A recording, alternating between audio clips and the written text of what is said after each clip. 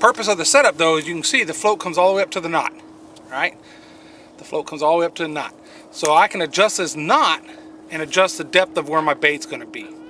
If I have it way down low, if I move the knot way down here somewhere, right, that's how deep my bait's gonna be. I move it up, my bait goes deeper, okay? So that's the basic slip cork setup right there. I got a knot on my main line, small bead on my main line, float on my main line, another bead